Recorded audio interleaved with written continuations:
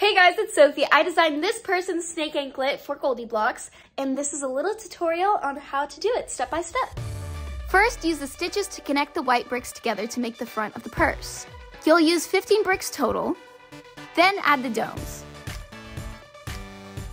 I designed a chevron pattern, but you can do any pattern you want. Be creative. Okay, now do the whole thing all over again to make the back side of the purse.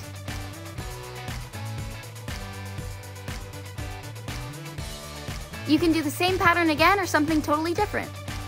Now stitch together the sides and the bottom of your purse and connect them to the front and the back like this.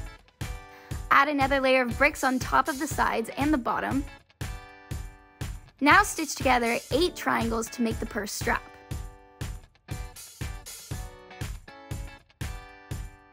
Now it's time to build the snake anklet. Stitch together triangles like you did the purse strap but add as many as you need to fit around your ankle or your wrist.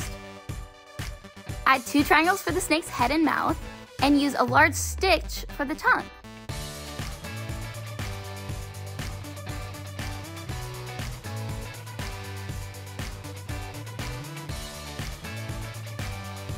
The purse is now finished, and it's so cute.